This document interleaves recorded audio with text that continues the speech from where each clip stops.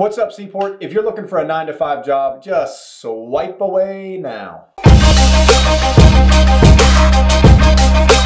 need to be in your space. You need to be obsessed. Hey guys, so we're back with number six out of number 10 of the top 10 reasons why I see personally agents fail in this real estate space.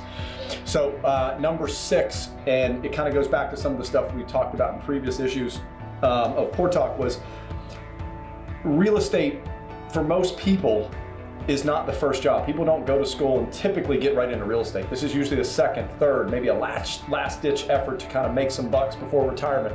So with that said, say 80, 90%, I don't know the exact percentage, but a large percentage of individuals start their careers in other businesses and other businesses are typical nine to five jobs.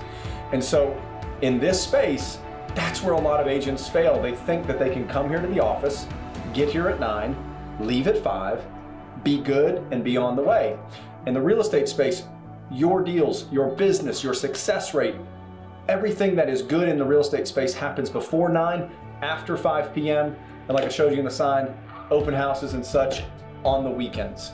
And so the majority of that nine to five is not where you're gonna make your living. It's not where you're gonna become successful. So get that out of your head that it's a nine to five. Simple as that. So for a new agent or experienced agent, figure out what you're doing before 9 and after 5 p.m. because if you are maybe stuck in a rut, maybe look at where you're failing in those after hour spots. Um, and with that said, I think a lot of people also come from another line of work. The 9 to 5 mentality is that it's a job. You know, if you feel that this real estate space, this real estate work um, is a job, you're already setting yourself up for failure.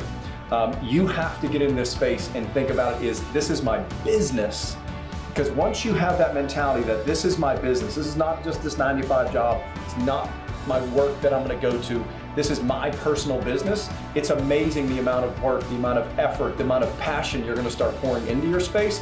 You're gonna start getting up early, you're gonna start staying out um, or staying up later, whatever the case is, putting a lot more time and effort into your business. So get the nine, men, nine to five mentality out the window, start focusing on those time frames, focus more on the business um, or, or on the weekend side, and figure out ways that you are running your own business. And I promise you that's going to help you really grow a lot more in your space. So hopefully that makes uh, a lot of sense to a lot of you guys out there, and we'll see you for number seven uh, next week.